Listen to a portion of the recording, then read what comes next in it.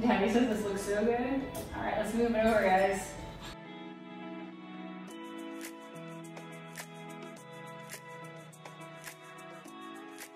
I almost died 21 years ago and I had a new chance at life. My anniversary of my wreck. I kind of relive it, the like the moments that led up to it and, and all that. It's actually a great day because it gave me this life. I was paralyzed at birth, which is a unique circumstance for being paralyzed that way.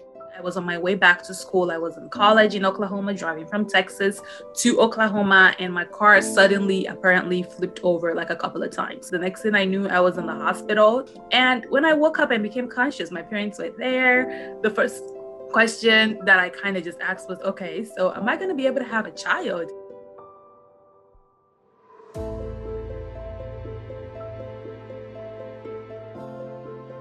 Before the wreck, there was nothing more in the world that I wanted than than becoming a mom.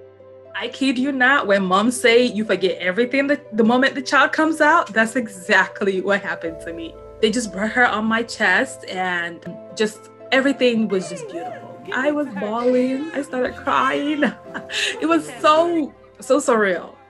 My day in the life is much like any other mom, able bodied or not. You know, that's one of those big, huge misconceptions is that every single one of us has someone else taking care of our kids for us and we don't. You know, you, you get up, you, you take care of morning routines and morning chores, you start doing dishes, you start preparing for, for lunches and, and, and grocery shopping.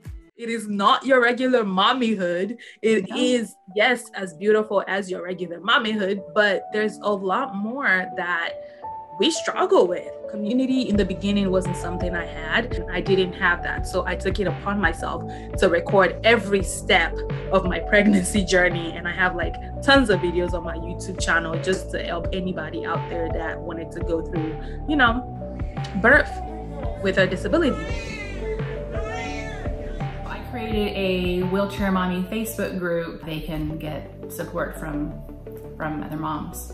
We can ask each other questions like, what's the best way you found to pick your baby up from off the floor? Or what's a good crib? Does anyone have an idea for a changing table that might be accessible? We can learn from each other and that's very powerful.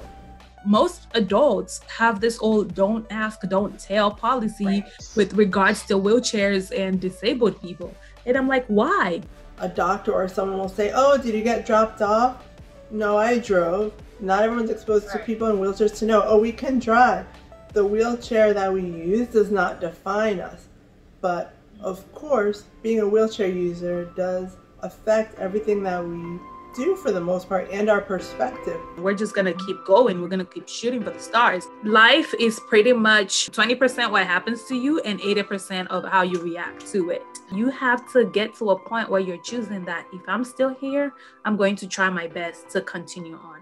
A lot of times um, someone will say, hey, if you could go back and change anything in your life, what would it be? And I'm like, you know, I think about it, I'm like, well, honestly, I can't think of anything I would change. And they're like, you wouldn't go back and erase the wreck? I'm like, no. I really want to know that we've raised kids that grow up to be compassionate, happy.